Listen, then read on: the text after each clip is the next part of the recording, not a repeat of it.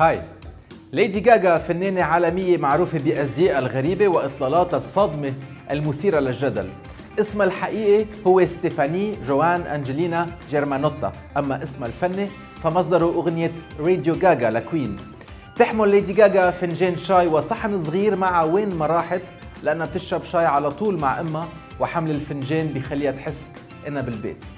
حققت ليدي جاجا شهرتها من ألبومها الأول The Fame يلي حقق نجاح كبير وحصل على ست ترشيحات جرامي وربح جايزتين. أغنية Born This Way باعت أكثر من مليون نسخة بخمس أيام وحققت رقم قياسي بهالشي مين قال إنه ليدي جاجا كتبت أغاني لعدد كبير من النجوم ومن بينهم؟